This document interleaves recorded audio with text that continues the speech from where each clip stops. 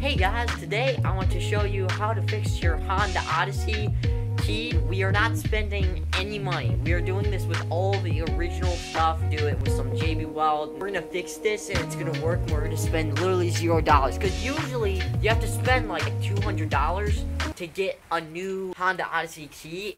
Today we're gonna JB Weld this thing together and I'll show you guys how it works.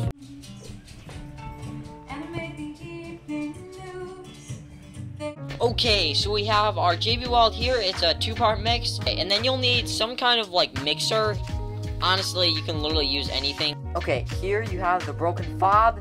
Literally, this is the part, the program part that costs literally $200. Okay, why you need this part is because there's a little in here somewhere, probably right around there or there.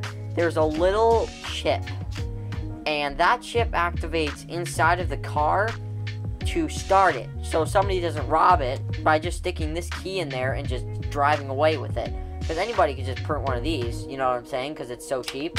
So they made this. It originally had this little key sticking out right here and it just had a little two tabs and it stuck out right there and it was grinded to whatever shape that is. It's really weird. Honda key.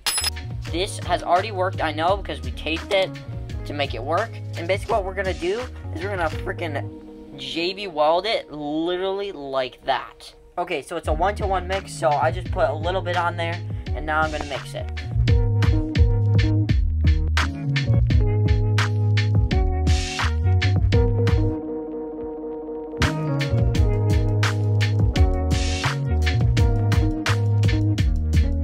Okay, sorry about the bad lighting, because it's just, I'm in my basement, but this is a new day, so I just let it cure overnight, and now we're gonna go and test it out. Okay, guys, so we're in the car. It's the moment of truth. We're gonna test this hack out, and let's see.